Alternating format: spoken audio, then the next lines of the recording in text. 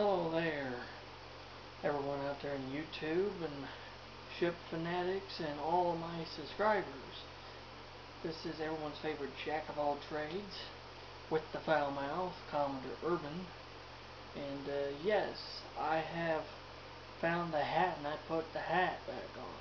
For all you old school viewers, you guys probably remember I wore this hat quite a bit back in the day. But because it got really, really small, I quit wearing it because it hurt. And it's hurting my head uh, right now.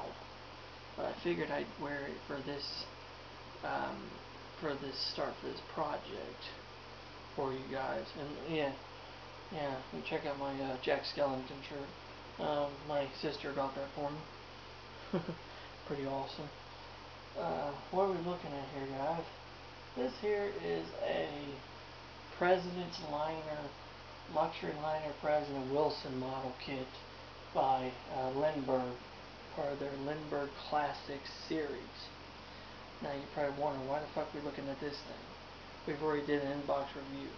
Well, the reason why, this is going to be the next fucking project, guys, because I got done with the Lusitania. A few days passed, and I was like, I'm fucking bored again. So I went through my model stash my model stash being my big stack of models that I have sitting in my closet. I figured, let's give this thing a go. So, without any further ado, let's take a look at it and I'm going to explain what I'm going to do. So, like I said, here's the box. Very um, basic and straightforward. Shows a picture of the liner on the front and it has all this information.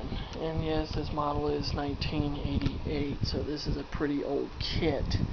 But I actually found out this model kit originally was made in the 1950s by Pyro, and it had several different reboxings.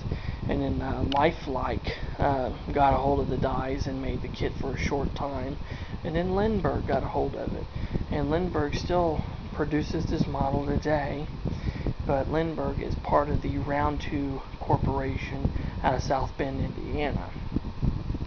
So, but when I got this kit from a good friend of mine, it was missing some shit. So I had to look up the numbers for the new kit, and I had to tell, I had to get a hold of some parts from the company that now produces the kit. And here is everything that I've got. So, here's a, and if you're wondering why there's some doubles of shit, when I put in the um, the replacement parts, somehow they fucked it up and gave me two of the following things. They they gave me two of these instead of one, two of the wheelhouse tops instead of one. Um, they gave me two of these funnels and two of these funnels. Well, it doesn't fucking bother me. Well, I mean, I got extras, so fucking what? Oh, and the decals. I got two sets of decals. So, actually more than that because see there's actually two of them in each thing. So see there's two of them each baggie which is kind of weird.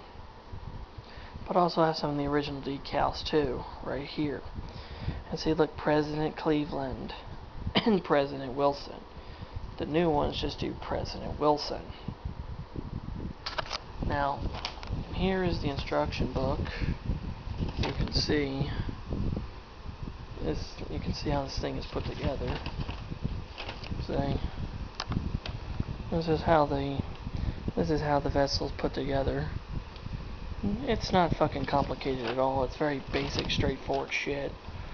Anyway I did some research in these two books the Great Luxury Liners 1927 and 1954 and great cruise ships and ocean liners from 1954 to 1986. So in this first book, I could find it again, um, right here. Here's a picture of the Wilson. This is a picture of the President Wilson. It's a very nice ship, very attractive looking ship. But one problem. What the hell is the colors of it? Because I tried and I tried and I tried to find fucking color photos of this ship. And I can't hardly find any. Especially good detail ones that can show me all the details up in here, like what color are the boats and what color are the uh, the mast and the derricks and what's the actual shade of gray on this hull. I know this is gray, and there's actually a stripe between the white and the gray right here. You can kind of see it's a real dark line. But what color? What color was that? And see, there's red too. See down there, that's red. I know that's red because the bottom of all ships are basically red. And here's the history on the Wilson. It says the passenger run on the Pacific did not revive as quickly as that on the Atlantic. However, American President Lines of San Francisco took a great step in 1947 48 by commissioning the sister ships President Cleveland and President Wilson. There's the Wilson. The pair reopened something of the pre-war service from San Francisco to Honolulu, Yokohama, Kobe, Hong Kong, and Manila, and they were built by Beth Bethlehem Almanda Shipyards in Al Alameda, California, 1948. 15,359 gross tons, 609 feet long, 75 feet wide, steam turbo electric engines geared to twin screw, service speed 19 knots, 778 passengers, 324 first class, and 454 tourists. That's what that book says. Now, this book, if I can find it, says last of the Great Block. Um, right here. Here's a picture of the Cleveland, and that is an actual photograph of the President Cleveland. And once again, I mean, it's a detailed picture. Problem is, I wish it was in fucking color so I can tell what all this shit was.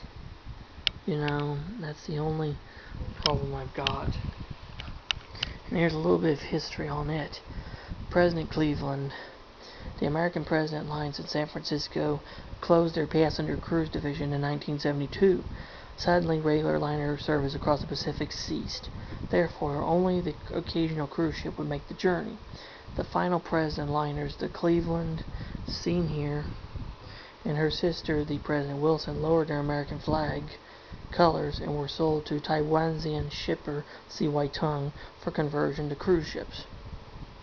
And she was built by Bethlehem Alameda Shipyard, Incorporated, Alameda, California, 1947. So if she was built in 47 and Wilson was built in 48, the Cleveland was the first ship. Seeing she was 18,962 gross tons, 609 feet long, 75 feet wide, 30 foot draft, steam turbo electric engines, twin screw, service speed 20 knots. In 1972, she carried 511 first class passengers only. So if she was built in 1947, that means that she was first and President Wilson was second. So this model, this kit here, I'm going to build as the Cleveland. Since I have the original decals to do the Cleveland, I'm going to do the Cleveland. I think. I don't know, guys. You guys tell me. You guys tell me if it's true. Which one? Which one of the two sisters was built first? Was it the Wilson or was it the Cleveland? Because I don't know. Because I, I, I would, I would think, I would think William H. Miller Jr., Bill Miller. I would think he know what the hell he was talking about when he wrote them books. Because he is, after all, Mr. Ocean Liner. You know, he would know. He would know what he was talking about. But you guys, let me know. See, there's the hull. I put it together. The hull's put together already, and the rudder's in place. That's done. It's all sealed up and stuff. See, I can show you. See, there's no really no cracks in it. It's all nice and sealed up. So when I get this thing to float in the water, it won't leak and sink. And the only thing that's actually done, done, is the base. That looks really good. I made it look like the old uh, the old American President line logo with the white eagle and the red background. So yeah, cause see, white eagle, red background. Those are the bands for the funnels. So yeah, there it is, guys. That is the uh, that's gonna be my project. It's gonna be the American President liner. It's either gonna be the Wilson or the Cleveland. I'm not really sure which one was built first. So one more time before we leave. I'll show you guys the box. And right there is the box, guys. And yes, this is incorrect. Because uh, if you've seen in the picture, the gray was not that low. The gray actually was right from right here and ran up through here. So this row of portholes was actually in the gray area. So this, whoever built this model and painted, they fucked it up. They really fucked it up. So, yeah. yes, I took the hat off. It was hurting my head. It was giving me a fucking headache, so I had to take it off. So, yeah. I hope you guys will stay tuned for the for the update videos on this thing as I build it. And I hope you guys enjoyed the video. If you have any questions or comments, or if you have any pictures or anything you guys like to maybe show me of this, like color pictures of these ships, that would be really appreciative. That would really help me out a lot, especially pictures on the on-deck features. That would help.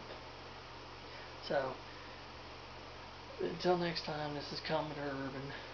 Oh yeah, and if you're new to the channel and you like what I'm doing, hit the subscribe button and turn on your notification bell. You'll never miss one of my videos and become part of the Commodore's crew. So, this is I, the Jack of all trades, with the foul mouth, Commodore Urban, saying have smooth seas and clear skies. Happy sailing with you, and God bless. You have a great day now. Bye-bye.